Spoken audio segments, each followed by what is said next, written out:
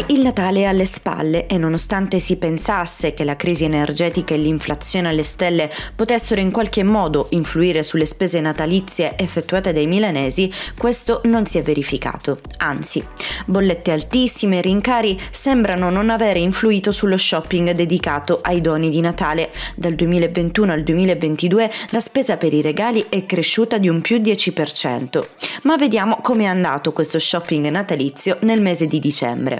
Devo dirle che è andato bene, la cosa che mi dà soddisfazione è che è andato bene anche nelle vie limitrofe, non solo nelle vie principali. Quindi eh, quelli che lavorano con la clientela nazionale, clientela fidelizzata di quartiere ed è andato bene, si è chiuso un dicembre che va da zona a zona da un più 8 a un più 15% in confronto chiaramente parliamo del 2021.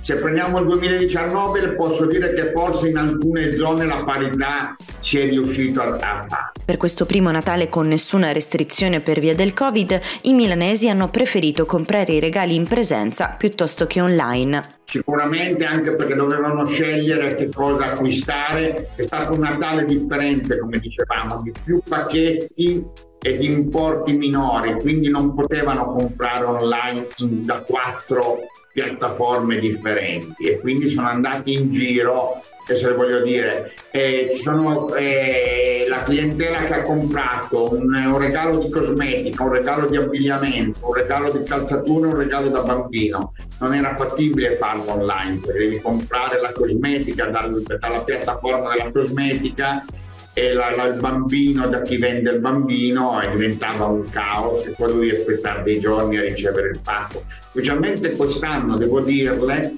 che con, i, con, le consegne si sono avuti dei problemi, non so se per mancanza di persone nei corrieri, però si aspettavano dei giorni per ricevere la merce, anche i negozianti aspettavano dei giorni per ricevere gli assortimenti. Finito il Natale si apre una nuova opportunità per gli amanti dello shopping, i saldi. A Milano la caccia al miglior affare durerà fino al 5 marzo. I veri saldi sono 20, 30 e 40 eh, quelli che partono già con oltre il 40, a meno che qualche articolo che è in via di esaurimento di taglie già da subito, sono saldi dove io non sono molto convinto quando.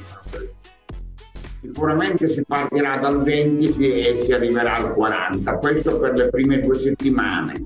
Quando, come si spera, le taglie iniziano a essere disassortite, quindi magari non c'è più la misura o il colore richiesto, lì potrebbe esserci un ulteriore sconto che si arriva al 50.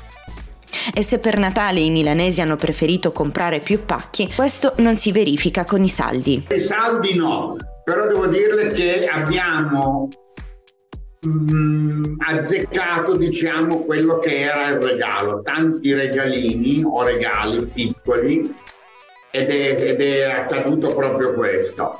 Per i saldi no, per i saldi è difficile il regalo, verranno le persone a comprare o comunque le famiglie.